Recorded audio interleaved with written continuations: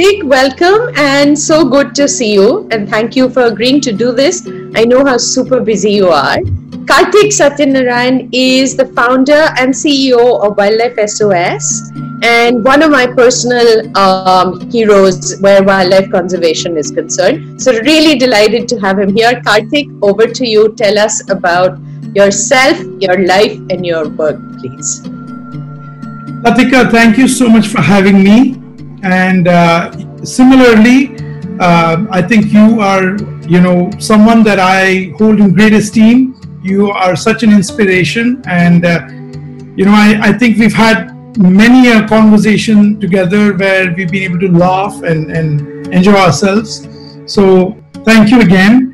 Well, I, um, you know, I, I created Wildlife SOS in 1995 with a co-founder called Geeta Seshamani and uh, when we started our work in 1995, the focus at that point of time was to resolve a, a huge, um, you know, wildlife crime problem that went on across India, the dancing bears, and where sloth bears were being uh, exploited in an unsustainable manner. But moving on from that point, you know, we today work with leopards, tigers, you know, um, a lot of cat issues as well as enforcement with anti-poaching work and stuff like that. Today's talk is going to be primarily about big cats and what we do with what we do to try and help big cat conservation. But at the same time, I will also start by introducing you to what we've done with Wildlife SOS and a little bit of an introduction to the work of Wildlife SOS. These pictures that you see uh, in the PowerPoint presentation are two of my favorite pictures. Um, that's a le- leopard that is currently living in one of our rescue centers. Where this leopard was rescued from a severe human um, wildlife conflict situation, and the tiger as well was rescued from a poacher's trap. So uh, both of these are animals that actually live in our facilities currently. All right. So giving you guys a little bit of background, these are the sloth bears that I was telling you about. And uh, this sight that you see of this man with this bear is what got us going to try and you know make a difference and create Wildlife SOS. So what you see here is a Kalandar man with his bear, and uh, this had been a 400-year-old practice across India. And as you know, time moved on, it became less of a practice for the harem of the Mughal emperors, and it became more like a side, cheap roadside trick and entertainment for tourists. But the ugly truth behind this was that every single bear that these people used was poached from the wild. And the photo you see here now is of a baby bear, barely a few weeks old, stolen from its mother.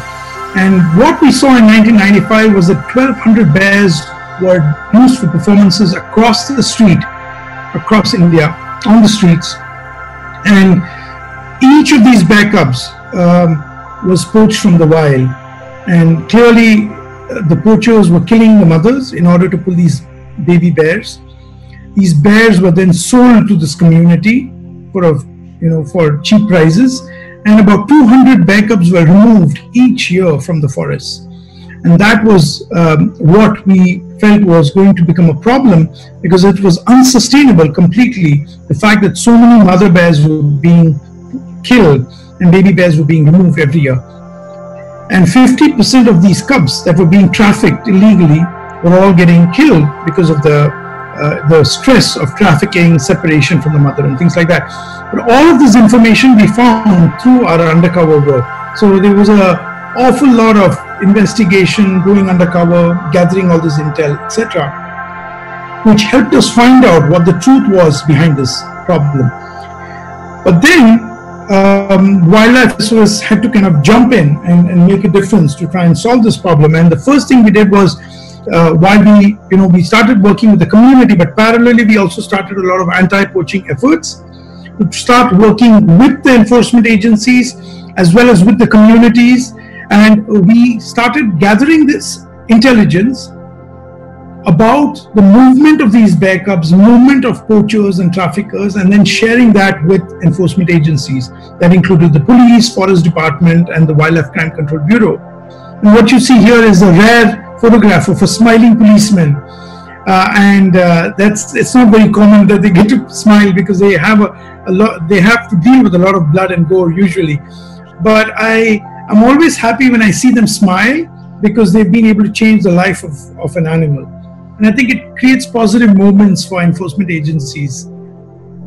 Now, going to the community, you know, this uh, image that you see of this man walking with a bear is what this community has gone through for hundreds of years. And this is a Kalandar man with his bear, and that's how he earns, he used to earn his livelihood. And what the image that you see next to it is the photo of his family, his wife and his four children. Three you can see inside, and there's a I think five children, two more outside of the frame, and that's exactly how they live. You know, just a bamboo, a couple of bamboo sticks, and a piece of tarpaulin. And so they had a bad deal. They had no education, no health care, no toilets, no drinking water. That woman would have to walk with those children for five miles to get a pot of water. And so we realized that you know we had to try and make a difference for the community in order to make bring about a change for the animals as well. And so we thought about bringing a sustainable solution to bring uh, an end to this illegal practice of uh, bear trafficking. So we started with the more intelligent species of the Kalandar community, the women. They were smarter, they didn't attack us, they didn't chase us, and they were willing to learn because they wanted a better future for the children. So we started training them in um, sustainable alternatives like carpet weaving, tailoring, embroidery, things like that.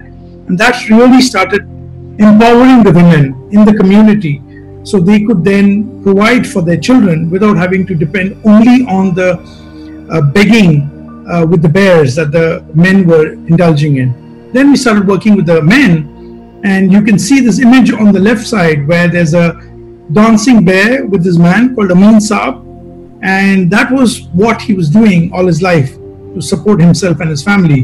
But when he surrendered his bear, we helped him with seed funds to get an auto rickshaw or a tuk tuk, and that was earning him, uh, in, in some cases, almost five times more than what he would earn with a bear. That made it it made it possible for him to educate his children, stay in one place, not have a nomadic existence like they used to earlier. And that improved the quality of life for his family. Again, getting the children to school was a big challenge uh, initially they just wanted their kids to go out and work and earn money for them. But we were able to get that child that you see in that image dancing a baby bear on the street to school. And we've sent over 7,600 children to school. And I think education is a very powerful tool. The minute you're injected and infected with education, you don't want to be out there on the streets begging. And I think those kids have now, you know, they're going to senior, secondary, uh, and they're following, pursuing um, higher education, which is a real matter of pride for us at Wildlife SOS. And uh, you can see, I mean, this is one of my favorite images where I see these kids really happy and uh, and, and at school because they always dreamt of going to school. They never got the opportunity to go to school because their parents couldn't afford the school fees, the books, the school uniforms, and we were able to support all of that and make that change. Of course, finally, we had to rescue all of these bears. So, Wildlife SOS ended up rescuing over 628 bears across India. Each of them was obviously, you know, taken from the wild, but each of them had a, a history of abuse that the, each of them had gone through. And there was a hole through the muzzle where a hot iron poker had been used to make a hole, and then a rope was thrust through it. And so we had to pull the ropes out, sedate the bears.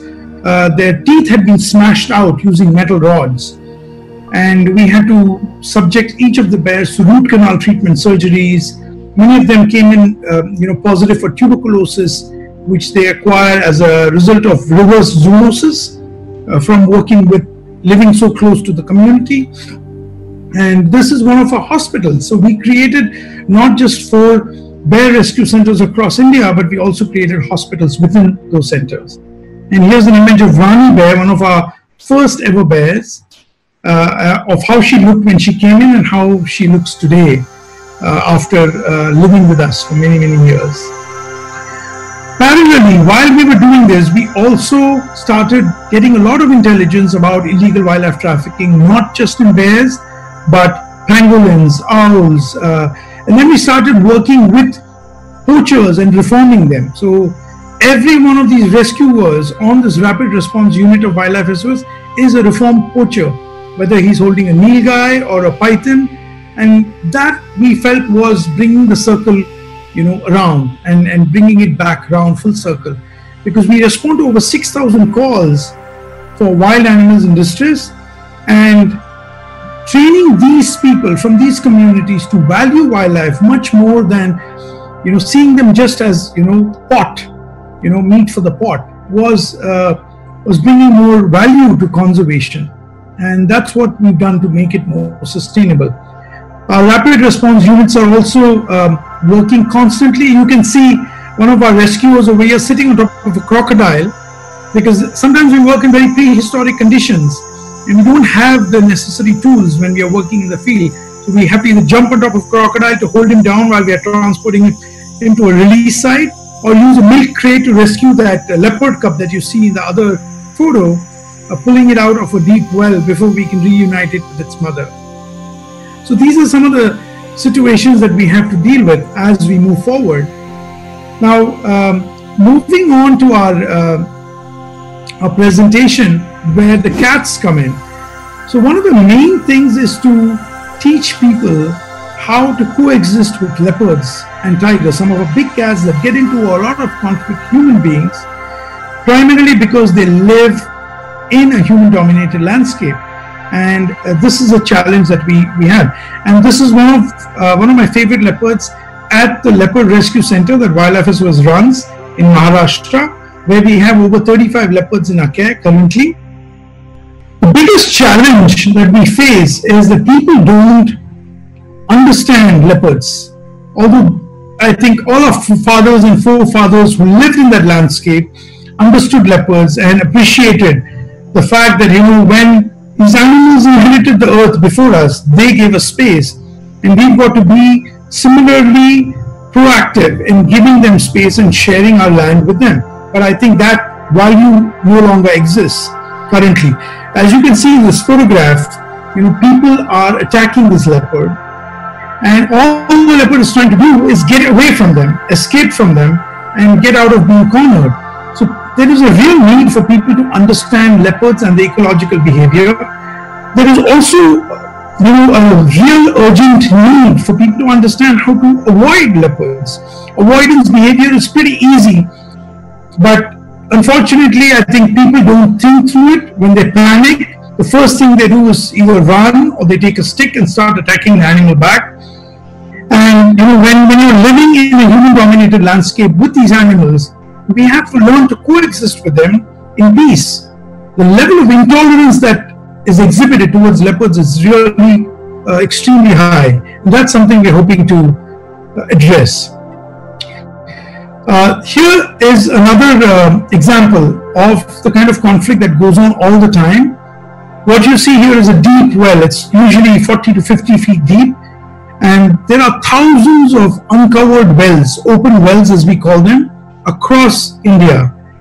And uh, we did a survey, and just in a couple of districts, there were over 9,000 wells in Maharashtra.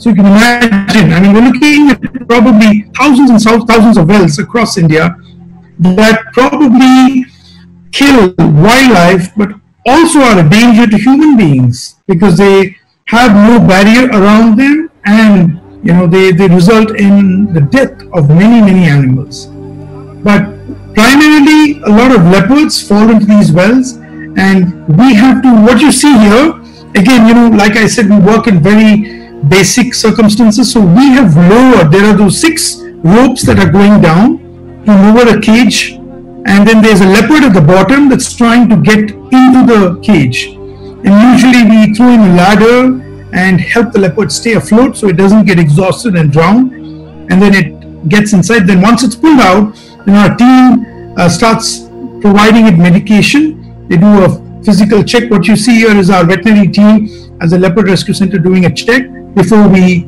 release the leopard back in the wild or keep it for treatment before it is then released eventually. But the role that I feel is most important that our team is able to play is to educate the local communities. And what you see here is our team talking to the local communities and educating them about the importance of not panicking and the importance of avoidance behavior and how they could all go to their fields and function without the fear of leopards, but at the same time keeping themselves safe and keeping their livestock and their animals safe and their families. And this is something which I think is the need of the hour today in India. We also do a lot of training uh, courses and uh, training sessions for forest department in terms of the frontline staff learning how to react and respond if there is an issue, whether it's a trapped animal, a cornered leopard, a tiger, or um, you know a situation where there's already conflict and it needs addressal. One of the things that makes me very happy and I think is also an important aspect is to ensure that leopards don't end up in captivity.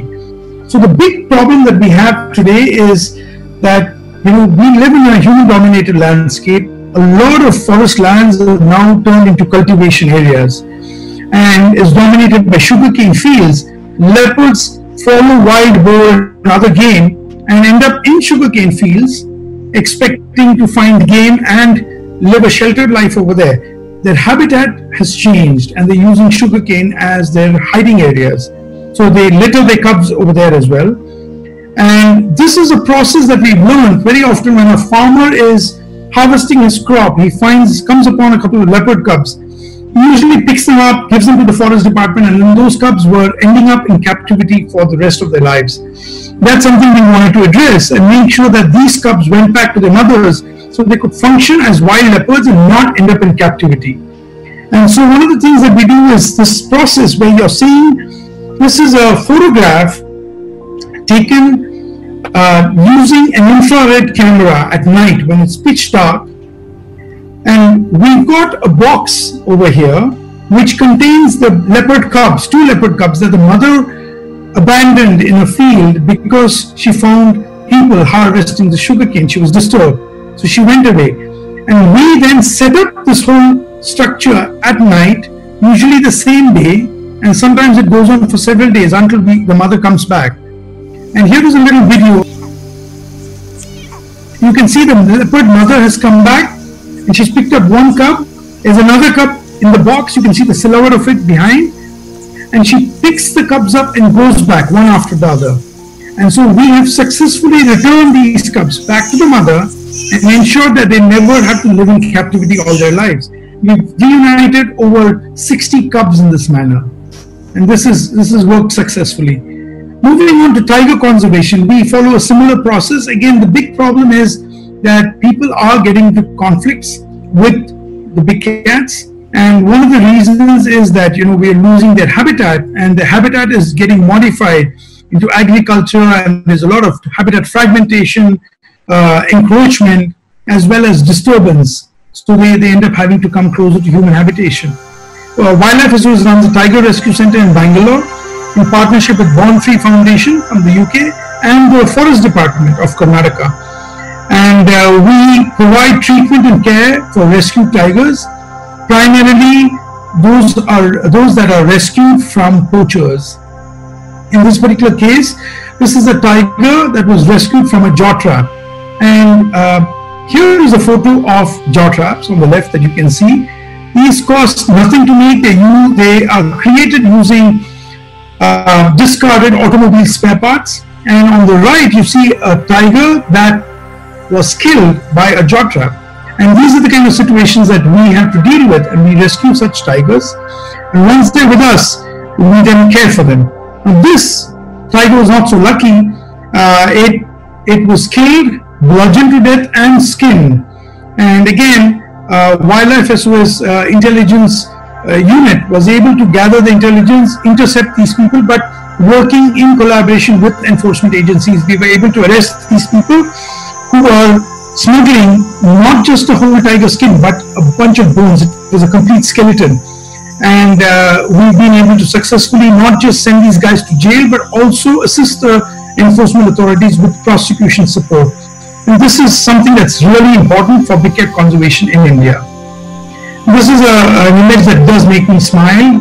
This tiger was not as unlucky as the earlier one.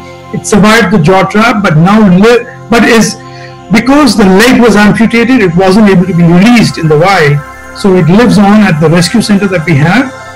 But um, you know, our team works very hard to give it a lot of enrichment and keep it uh, in a near forested condition in um, in as wild uh, habitat as possible inside very large enclosures. Again, you know, uh, our anti-poaching unit, which is called Forest Watch, plays a very important role in big cat conservation. Again, here you can see four poachers who were arrested by the Forest Department and the police based on intelligence passed on by Wildlife SOS to ensure that these people are punished and the word gets out that big cats are to be protected and not persecuted in this manner. There's another leopard skin that we, we confiscated not so long ago, uh, right on the border of Delhi, can you imagine? Very close by. Uh, again, um, while we are working with um, enforcement agencies, we come upon a lot of information about wild animals being trafficked, and that includes snakes, turtles. We even got this very interesting case where there were two saltwater crocodiles and a bunch of ball pythons that were being trafficked, if you please, using the postal system. So they would come in many boxes, and it would be marked, uh, you know, uh, powdered chili powder or dry chilies or something like that. And it would be, it would, there would be a fake address on it, and it would come get delivered over there. And uh, the postal office contacted our team and said, there's this box that is moving, so can you please send someone down? So we sent a team down there to check on it, and we found that there were cro- live crocodiles inside the post bag. So, I mean, smugglers will go to any extent. So it's really important that we understand that you know illegal wildlife trafficking is a multi-billion-dollar industry, and we've got to do everything we can to to stem it and stop it. Uh, the important thing that I also wanted to share is that we encourage a lot of volunteers to work with Wildlife SOS. So here are volunteers helping us prepare feed for our rescued animals that live at our centers, and that includes, you know, not just big cats, but also bears, elephants, uh, all kinds of animals, birds, etc. But it also gives volunteers an opportunity to come and work shoulder to shoulder with our team. And all they need to do is email us at volunteer at wildlifesos.org if they want information on how to come and volunteer with us. And there's one other thing that we do, we also work with elephants. And uh, we've been constantly trying to uh, get people to understand the importance of responsible tourism and being responsible tourists when you go to a country like India. And as you know, elephants in India have a bad deal. They get exploited severely and they suffer a lot of abuse. So we always encourage people to go to refusetoride.org which is a resource website, and educate themselves about what is used as a training method for elephants so they can be ridden by tourists. And it's really important that everybody sees that before they get on top of an elephant. And um, that's it. You know, uh, that, that was my presentation on, on the work that we do to protect big cats and other animals. And if anybody needs more information, they're welcome to go to our website, which is wildlifesos.org they can also go to our social media page, Facebook, which is Wildlife SOS India, and they're free to email me on uh, kartick at wildlifesos.org. Thank you. Thank you. That was amazing. So just just going to what you were talking about and the fact that you have um, you said 35 big cats just in in one center. Um, Kartick, tell us what is involved in looking after 35 cats for the rest of their lives on a daily basis. What is it that you do? I think people really need to understand this. Looking after 35 big cats on a daily basis is no easy feat, I can tell you that. It requires a lot of resources. You need to follow very safety protocols because these some of these animals have been man eaters, some of them have been cornered uh, and have had a bad experience with human beings. Uh, so they are scared and they don't want you know really to to have anyone in their face. So it requires us to be very patient. It requires us to have a team. We have a team of about 15 people just looking after the leopards, so including their feed, the monitoring. We do a lot of uh, enrichment in terms of scent because big cats can get bored, just like us human beings during the lockdown. You know, we need to ensure that they have uh, some excitement during the day, and they have, you know, they we arouse their senses by you know putting in different scents, uh, throwing in different things for them to play with, creating enrichment structures that they can climb on and stuff like that. So uh, it keeps our team really, really busy. But also, our rapid response unit has to be always ready to get into the jeep and drive out if they get a call about an animal in distress. And you know, since you've been talking about this, I also must use the opportunity to mention that recently we've had a six-part uh, episode series made about the work that we do at Wildlife SOS including the work of the big cats uh, on Geo Wild, and it's called India's Jungle Heroes. It's currently streaming on Hotstar across India, but otherwise, uh, I think it's aired on Geo Wild, and it, it actually shows people what it takes to care for these big cats on a daily basis. And uh, I'm constantly, you know, concerned about these big cats because we've got to make sure that they have a, a decent quality of life because we can never put some of these cats back in the wild and we need to replicate what the wild offers, what these forests offer to these animals inside their large enclosures. So the goal is to try and give them a large enclosure, and we're constantly looking for you know people to sponsor and donate material so we can make these animals large enclosures, and then you know uh, make sure that we can give them you know a good quality of life and keep them in good health. Okay, so um, from that, um, another thing that has been in the papers a lot is this whole problem in Maharashtra uh, with all the conflict between tigers and humans. And uh, people from the forest department now talking about the fact that they want to remove 50 plus tigers uh, from where they live presently um, and translocate them uh, with no mention of where they're going to translocate them or uh, and they're talking about sterilizing them. Now, do you think these are real solutions? Do you think this will have a long term impact? Or, given today's scenario, uh, one of my worries, for instance, is that if you remove a dominant male tiger from another area, it'll the territory will fall open and you'll just get a replacement coming in because we have an endless supply from the source. So, um, how do you deal with something like this? And where do you put 50 tigers? Who would be ready to have 50 tigers in the neighborhood? Um, and how do you actually give a tiger a place that he can call home and not be a trapped animal in a little pen uh, which is what happens most of the time in my opinion latika i think you know the lesser that we interfere with nature the mm-hmm. better nature is, you know, and she solves these imbalances very easily on her own mm-hmm. if human beings can stay out of the mix. Mm-hmm. So, you know, I, I, think the reason that, uh, you know, we have some of these situations, these conflict situations is, is you know, uh, because there is human presence and sometimes overwhelming human, human presence.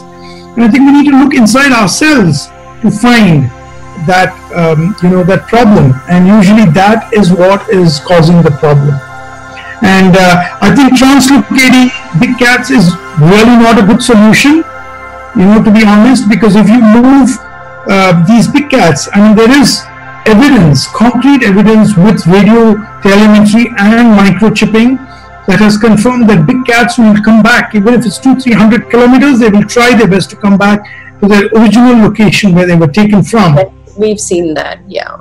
And that will cause further problems. You will leave a trail of, of bloodshed on the way back and conflict. Uh, that is one problem. The other problem is, you know, when you remove one animal, it creates a vacuum and another animal is just going to replace it. So you're not really solving the problem. But I think the, the way to solve such problems is to teach people avoidance behavior, combine it with a lot of speedy compensations. You know, if people lose livestock, compensate them adequately, sufficiently, and quickly. So there is no delay. That will ensure that farmers do not uh, get tempted to poison tigers or go and try and attack the tiger or trap the tiger or anything like that. Instead, if he loses his livestock, all he has to do is submit a form, get the forest department to come and confirm it, and he gets his compensation. End of story. You know, the, the tiger does not get into conflict, and you know it's only going to be 50, you know, or 60 cattle a year, and the government can easily afford to compensate the uh, farmers for that kind of loss. Okay, so just today um, we were doing another talk with a friend, um, Ali Rashid, who was um, talking about um, conservation tourism, and he actually mentioned that in the city where he lives, Bhopal, um, there was a tiger which had wandered in from uh, probably he suspects from the Ratapani area or in one of the little forest uh, clumps that are around Bhopal into his daughter's school in the middle of the day. And uh, in another case uh, somebody has a big factory there and there was uh, a tiger in their car park so i mean it's not just cities that we're worried about now it's also urban environments.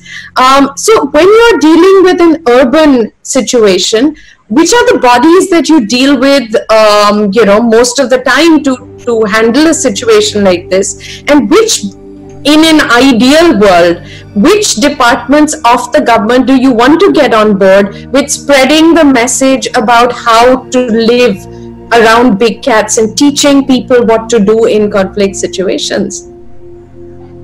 I think working with the forest department, the police, and the local panchayats would certainly, uh, you know, help in, in spreading the word, getting people to be more aware about how to react to these situations and how to uh, learn behavior and to live with big cats. And I'm not surprised that these tigers are getting into all these places because these places are not not cities, you know, to start with. They are tiger habitats. And these animals have learned that, I mean, this was their habitat some time ago.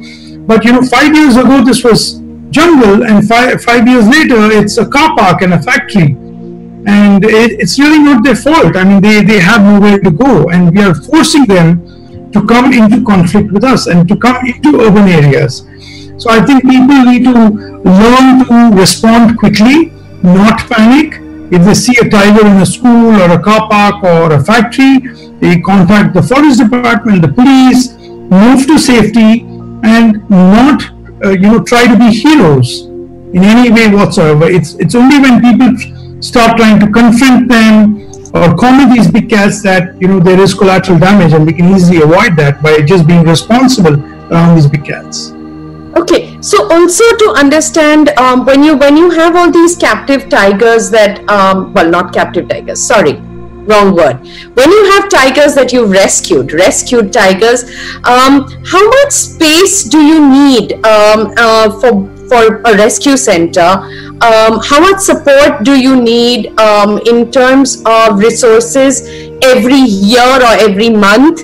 Uh, what are you looking at? And uh, you know, people often ask, how can they help? Do you have programs like Adopt an Animal?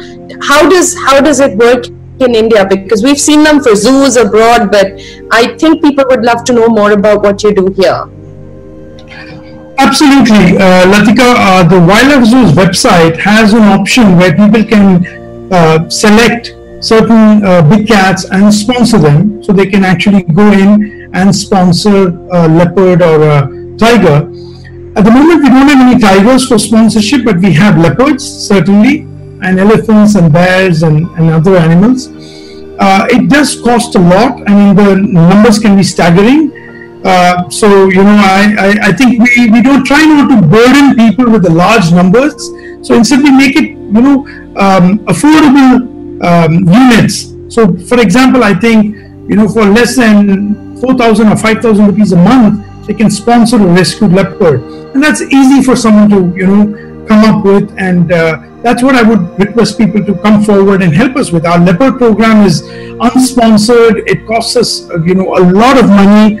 I think we end up spending, you know, seven lakh rupees every year, over 50 lakhs, I would say, uh, on, on our work. And uh, we would warmly welcome anybody coming forward to sponsor our leopard programs and the rescued leopards in our center.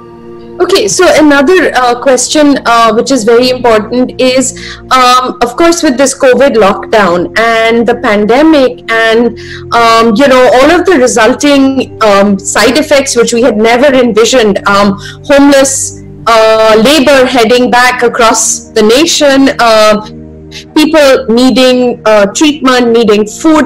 Um, a lot of the resources would have been diverted from causes such as yours to all of these immediate pressing human concerns. So, um, how does how is that impacted on you, and how is that impacting on conservation and uh, working with anti-poaching and trade? Well, the COVID lockdown itself has made it very difficult for our informants to move around and gather intel, but they have been able to get information uh, using phones, and the information is that there's a lot of contraband that is waiting, you know, lying around that we need to work with the forest department and the enforcement agencies to crack down on. So we're just waiting for all of this to kind of settle down so movement can start smoothly and then we can start working closely with the enforcement agencies. Uh, the lockdown itself and the pandemic has impacted us tremendously. It has been quite a challenge for us to administer uh, food material and medical supplies to the various rescue centers that we run. So it has been quite a challenge. We've been requesting everyone to come forward and help us to provide donations. And people can easily do that by just going to wildlifesos.org slash donate online and make contributions to uh, specifically the COVID relief support to Wildlife SOS, and we're able to provide uh, PPE kits, uh, face shields, uh, hand sanitizers, etc., and gloves to our staff to keep them safe. And these are the same people that work around the clock to keep our animals cared for. So um, yeah, it's it's been a challenging time, and we welcome every bit of support because I think a lot of support has gone away in other directions and it would help us to gather every bit of support we can. Every rupee, dollar, and pound will help us at this stage. Wonderful, great.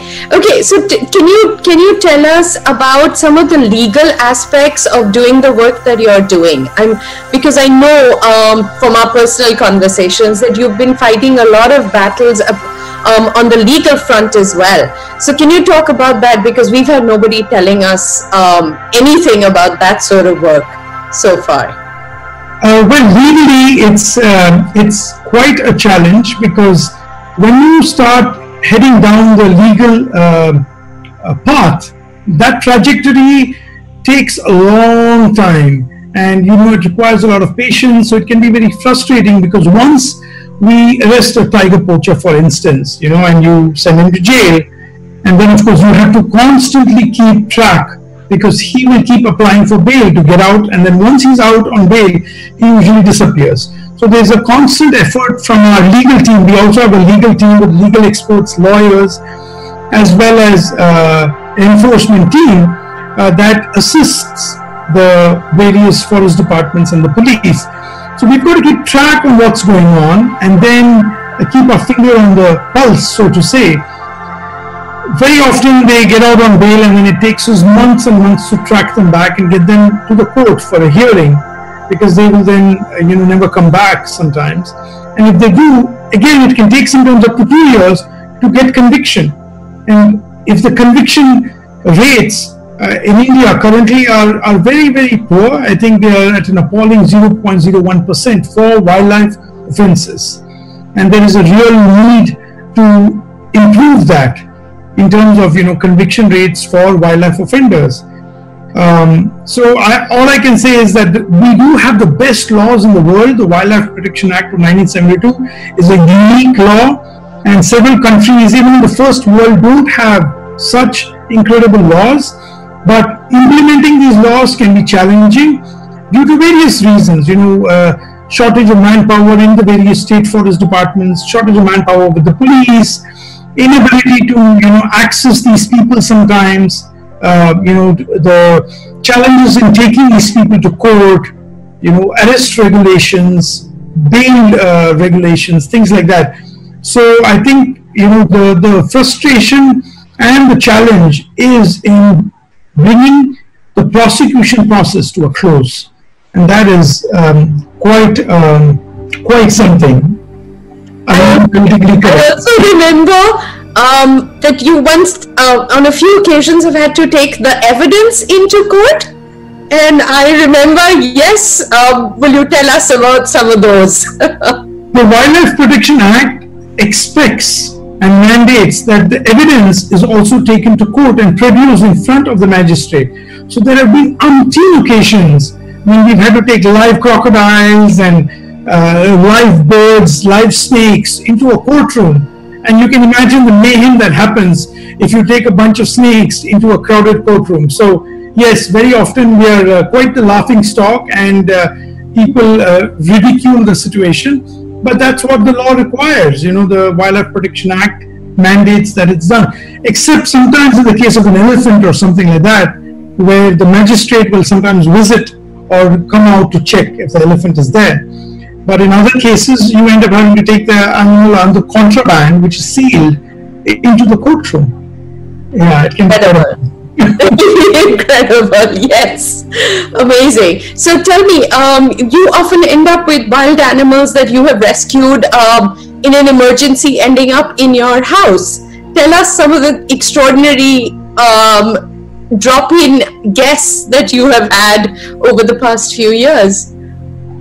Well, I can uh, I can certainly say that uh, there's been quite a challenge in terms of you know handling uh, rescued animals because Delhi, uh, where we run our hotline from, does not have a rescue center, and uh, you know uh, the chief wildlife warden is trying his best to make it happen, but it's a challenge, and sometimes the zoo is unable to take the rescued animal.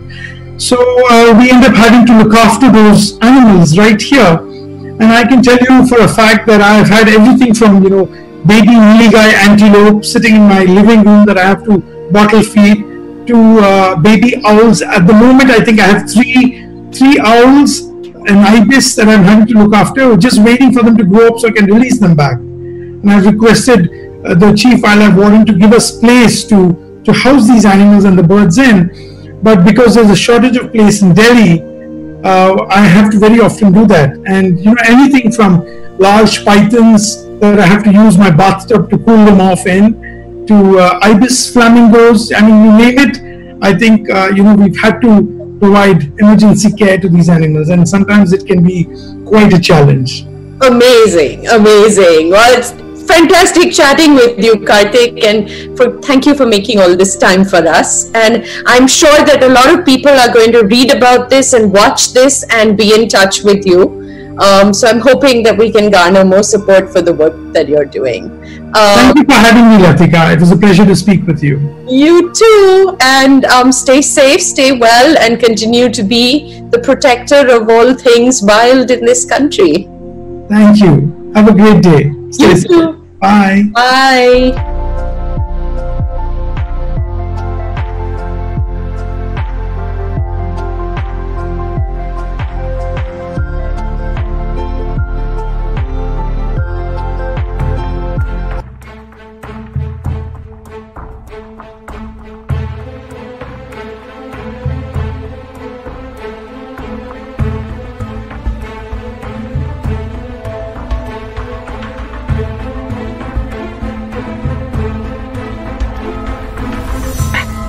So strong. I mean, how did it get that huge impala up there? But it did. Pretty amazing.